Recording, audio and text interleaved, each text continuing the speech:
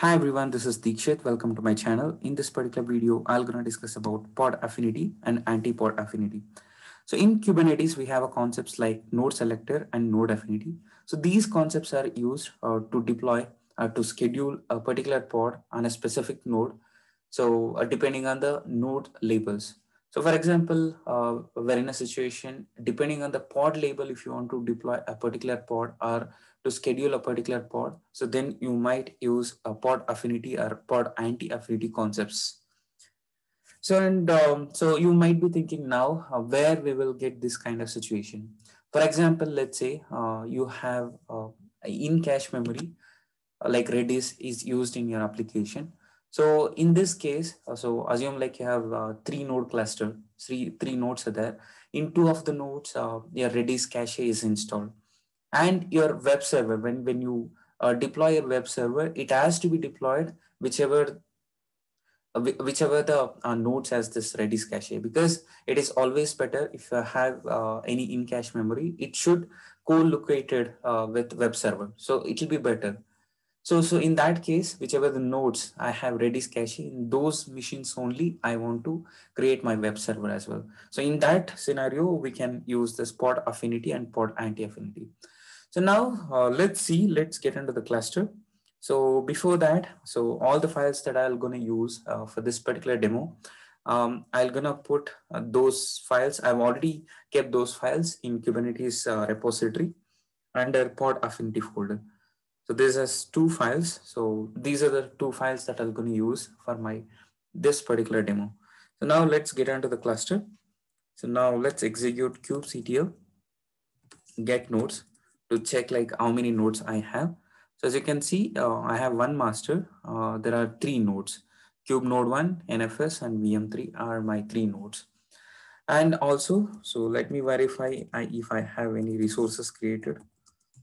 So I don't have any, oh, sorry, it's a typo mistake. kubectl get pods. Okay, I have one pod, uh, just ignore it. Uh, maybe uh, I was just doing some R&D. I would have created this particular pod.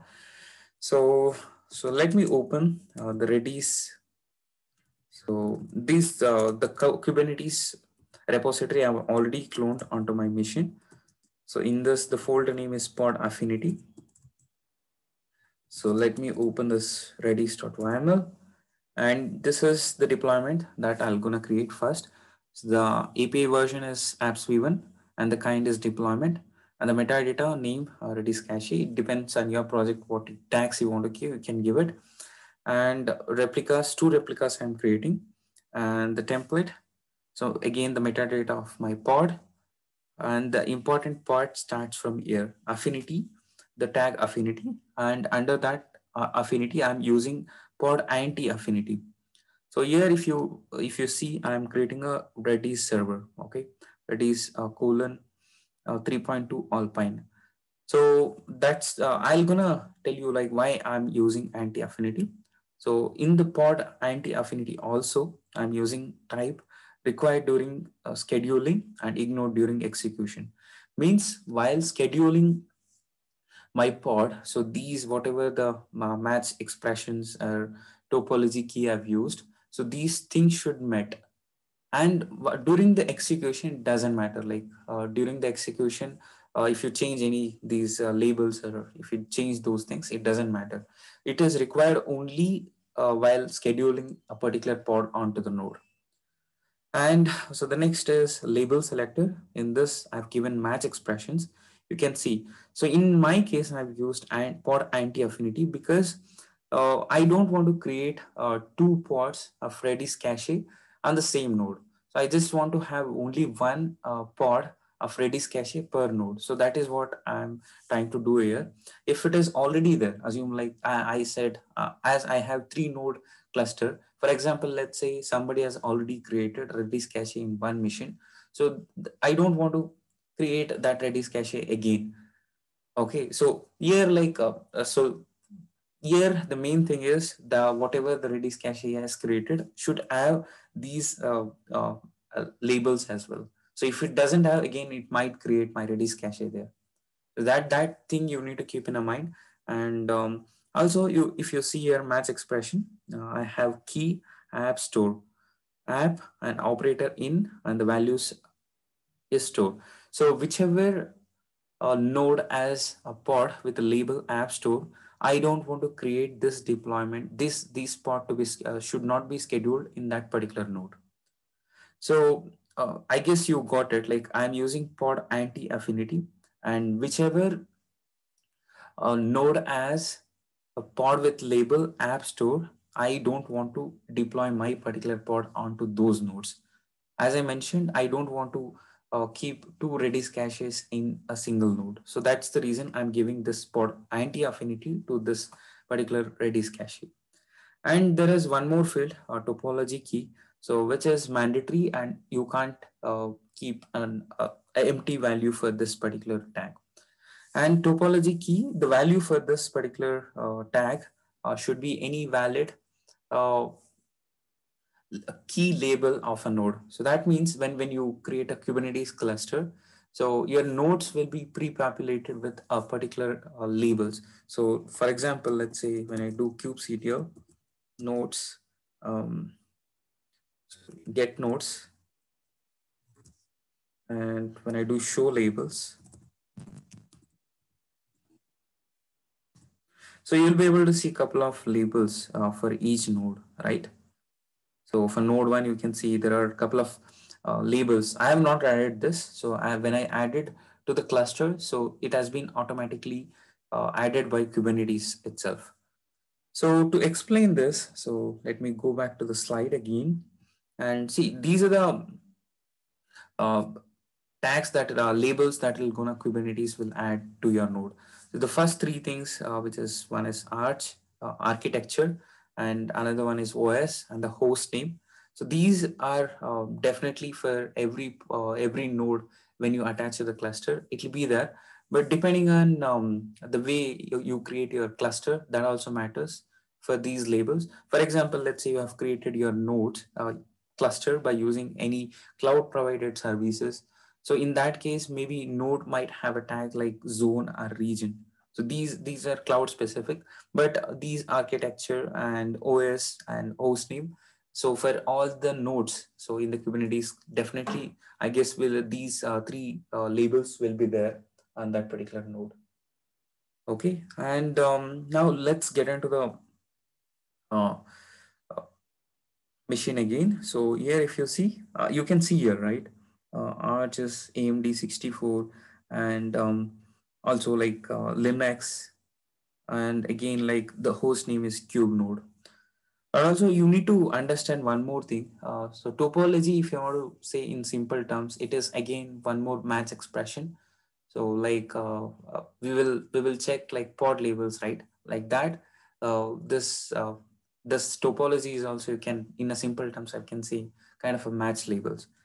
So if you want to understand that topology, I have a um, few few uh, examples for that. So let's see the first example. So in this case, uh, let's say I have pod affinity. And if you see I required during scheduling and ignored during execution. So I've already discussed this, a label selector and match expression. So in this, uh, in this case, I'm using pod anti-affinity. In this case, so whichever the node as a node uh, having a pod with label app store. I don't want to uh, uh, deploy my particular pods onto that node. So for example, let's say uh, I have this node, uh, this cluster, uh, which has two nodes, node one and node two. And now I want to deploy this particular pod with this pod anti-affinity. So now it will check app in store. So that means I shouldn't deploy my particular pod onto this node one, right? Now the host name value will be node one and it will gonna now scheduler can uh, take a decision like I shouldn't take, uh, I shouldn't deploy uh, onto the node one. So it will gonna deploy it onto the node two.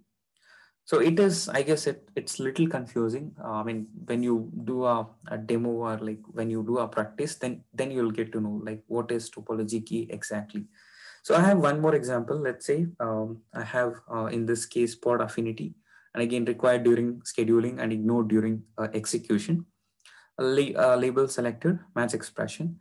And here if you see security in S1. So whichever the node as uh, a pod with the label security S1. So then I want to deploy on, on to those kind of like uh, uh, uh those kind of nodes. So assume like this is my uh, particular cluster, which has three nodes. And in this uh, cluster, I two nodes are US East 1, as you can see in the diagram. So one node is US East 2A. So now what happens? Uh, now it will gonna match with this label. And as you can see, topology key is zone, right? Uh, so this zone will be matched by two, two missions. Now, so the scheduler can schedule your pod onto this node or on this node. So it is kind of like union of your topology key and the match expression. So hope you got a clear understanding now. So so it, it is little confusing. So if you do practice on your own clusters, then you will get to know what exactly this topology key is. So now let's get into the cluster.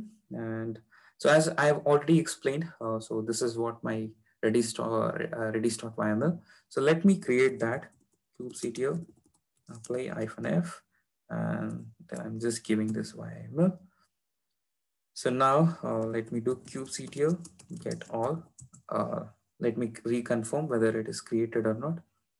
Yeah, you can see um, it is getting created.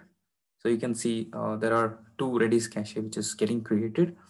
And now um, I have one more file, so which is uh, web server. So when I do cat on uh, web server YAML, so now uh, my main intention is my web server should be deployed onto the nodes whichever my uh, onto the nodes where my Redis uh, cache is running. So that is what I want to uh, make sure. So my web server should run on on the node where like my Redis cache is running. So here uh, you can see uh, API version is apps v1 and the kind is deployment. So replicas are two and the main part starts here affinity. Here I'm using pod affinity. So because I need to match with my Redis cache label and I need to deploy it there, right? So here also the same thing. Uh, I have taken required during scheduling and ignored during execution and app web store. So uh, if you remember, let me do cat again on that, cat and Redis YAML. If you see uh, my label uh, for these uh, pods is app colon store. So that is what I'm matching it here. Uh, so which uh, whichever node as a pod with App Store, so deployed there. Sorry, this is pod anti-affinity. Uh, I'm really sorry. This is pod anti-affinity.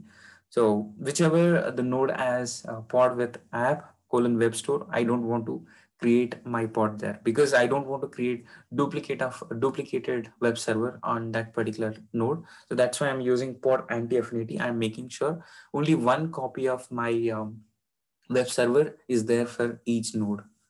Means like uh, one particular node. And then again, if you see uh, uh, pod affinity, here I'm using app store. Means I'm co uh, co correlating with my uh, uh, Redis cache pod. So required during scheduling and during execution, which is ignored. If you see here, I'm matching with app store. So if a particular node as my Redis cache in my uh, this particular demo, so then go ahead and deploy that particular uh, web web store application on that particular node. also, this topology is uh, Kubernetes hosting. So as we see in the diagram, so the explanation that I've given there holds good for this as well. So now let's go ahead and create this as well. kubectl apply f and web server YAML. So when I create that, so let me verify it.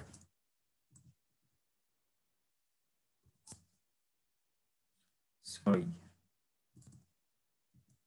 kubectl get all.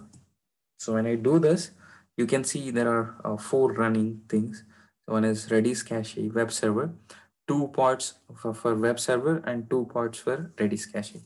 So now when I do O wide, so you should be able to see um, it should be uh, deployed. See, uh, you can see Redis, uh, Redis uh, cache is there on kube node 1 and NFS.